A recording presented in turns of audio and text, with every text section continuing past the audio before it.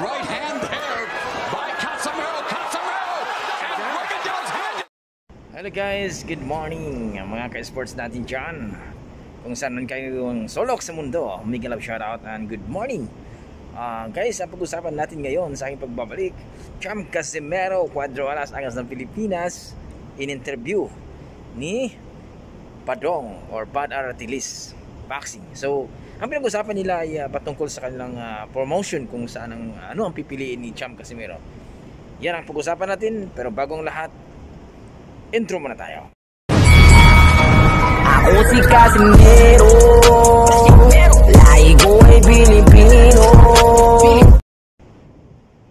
What's up guys? Ah, good morning uli mga boxing fans natin dyan Saan man uh, sulok kayo ng mundo Kumusta kayo? And Mika Love shoutout So guys, pag-usapan natin no? Ang ah, naturang ah, interview kay ah, Badong Aratilis or Bad Aratilis Boxing Kay Cham Casimero regarding po sa promoter no? Kung may napili na ba sila So guys, panoorin mo natin ng isang video clip na courtesy by ah, ah, Quadro Alas ah, TV vlog. So okay guys, ah, panoorin muna natin then magbigay tayo ng ah, opinion or ah, reaction nito. Okay guys, and God bless. Sino raw?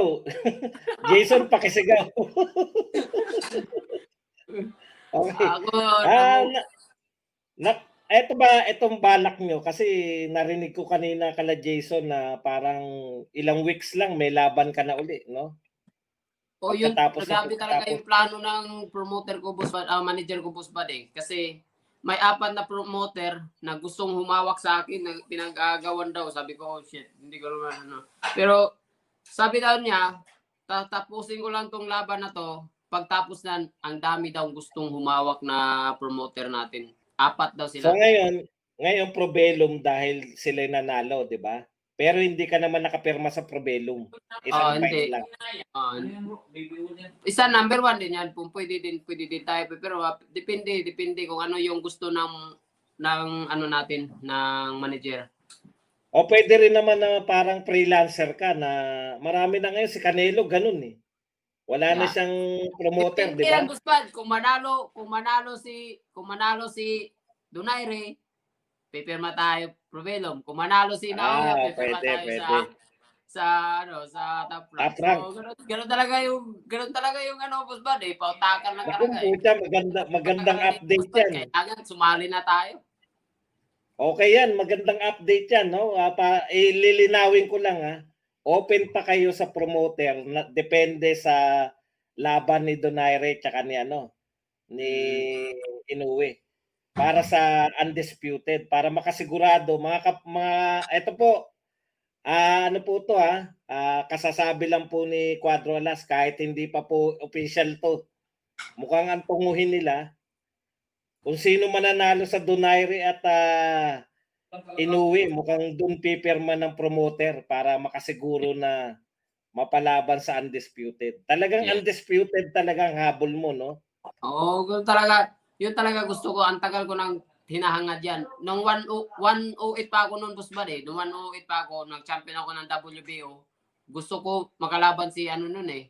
Si Chocolatito dati. Chocolatito. Yeah. Gonzales. Tapos What's up guys? Yun na nga guys, Ah, nakita natin sa video clips natin na talagang ah, nagtanong po si uh, Bad Aratilis patungkol sa promoter kung mayroon bang napili sila ang kanilang ah, manager o sila si Cham Casimero. So sabi naman ni Cham, ah, depende sa ating ah, ating ah, manager, sabi ni ah, Cham Casimero at ah, kung saan na gusto kasi alam nila kung saan ang magandang promoter. At um, nagbigay din siya ng ano na sabi daw ng kanyang uh, manager kasi gustong gusto talaga ni Cham din na magkaroon ng undisputed sa bantamweight division.